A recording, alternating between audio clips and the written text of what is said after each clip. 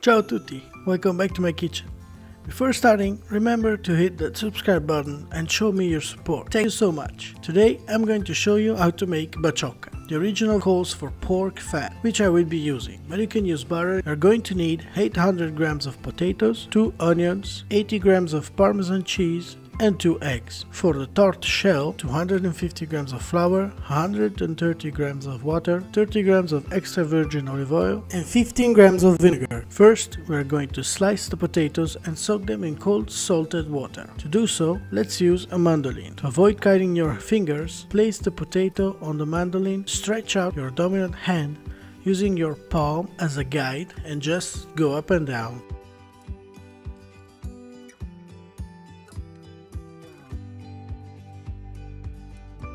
You want them very thin, this way they will cook evenly. Repeat with the rest and let soak for at least 30 minutes. This way some bitterness from the starch will wear off.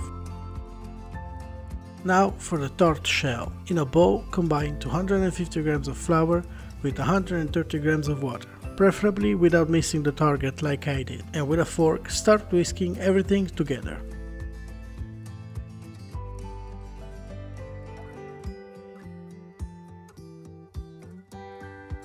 Add 10 grams of salt, 30 grams of extra virgin olive oil,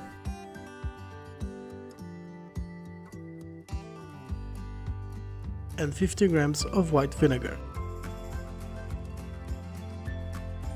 Once it becomes too difficult with the fork, transfer the dough on your work surface. Flour your hands and start kneading until smooth.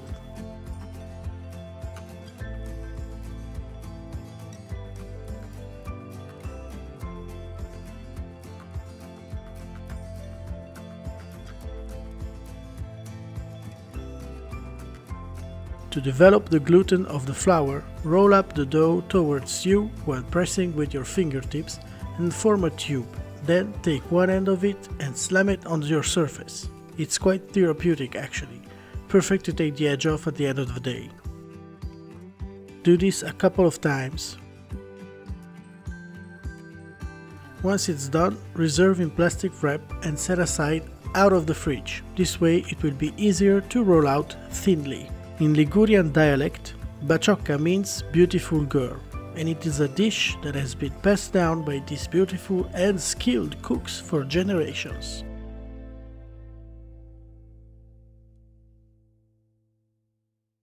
Peel the onions without cutting off the root. Point the knife towards the root and cut thin slices as close as you can to it. Then rotate it and cut across the middle horizontally. Grab your onion like a tennis ball and dice it with regular strokes, letting the weight of the knife do the work.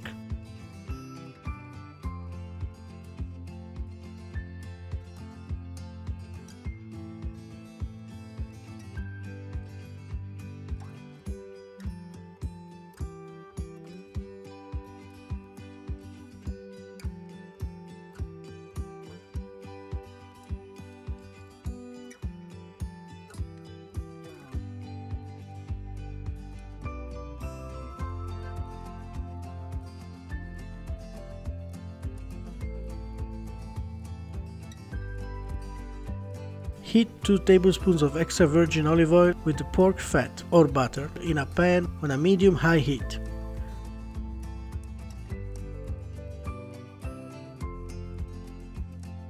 You can add one crushed garlic clove for a little extra flavor if you want. And in with the onions. You need to soften the onions and let them absorb all the flavor from the pork fat, but no coloring. It smells amazing here and a pinch of salt to draw some of the moisture out. Once soft and translucent, add the potatoes to the party and let them get some of that fatty flavor for about 10 minutes or so.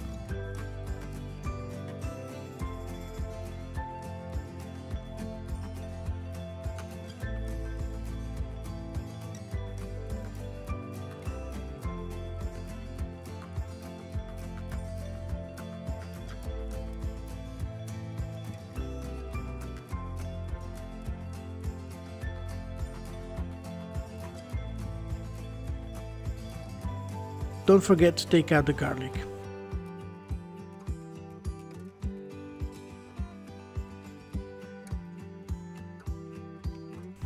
Once this is done, let the filling cool down while we flatten the dough. Generously dust your work surface with flour and with a rolling pin and if you don't have one, a wine bottle, start rolling out your dough.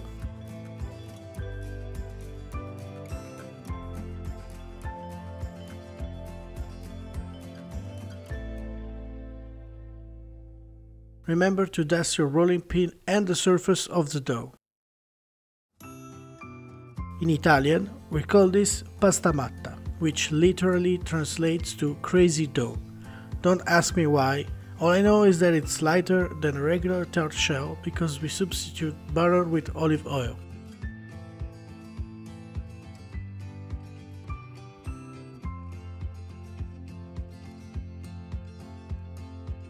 Once the dough is thin enough, about 2-3 millimeters, Carefully roll it around your flour rolling pin. Take a round baking tray, coat it with a thin layer of olive oil with some paper towel.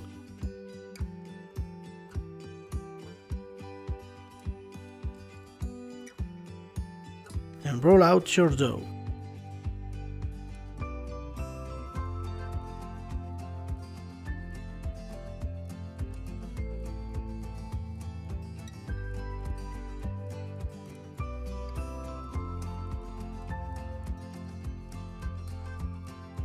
Gently press the sheet of dough to the bottom of the tray.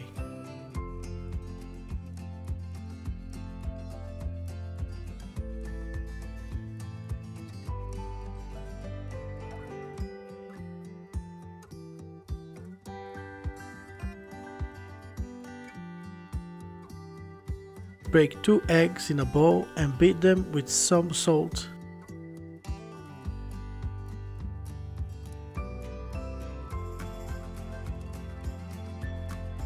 about 60 gram of the Parmesan cheese.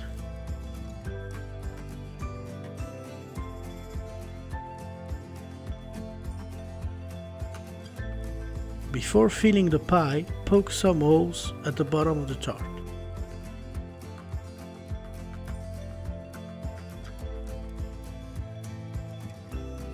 Press down the filling and make an even layer and pour your egg cheese mixture on top.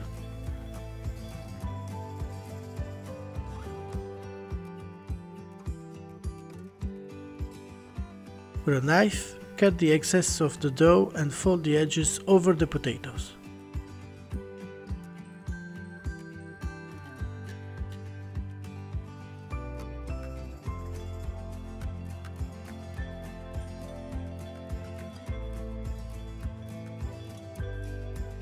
The rest of the dough can be stored for a couple of days in the fridge. Put more parmesan cheese on top for a golden surface Drizzle some olive oil on the edges for extra crispiness and the flaky salt to finish it off. This will go in a preheated oven at 180 degrees for 35 minutes, plus 5 minutes under the grill. After 40 minutes and a little cool down, this is the result. Crispy crust on the outside and soft and golden on the inside. Do one flip, and do another because you love risk. Cut one piece and check out those layers. Can't wait to taste it. Hmm, exactly like my nonna used to make. You should try it as well and let me know what you think. Thanks for watching this video. Don't forget to subscribe to my channel for more content. Curious about Ligurian cuisine? Check out my other video here. Until then, ciao e alla prossima ricetta!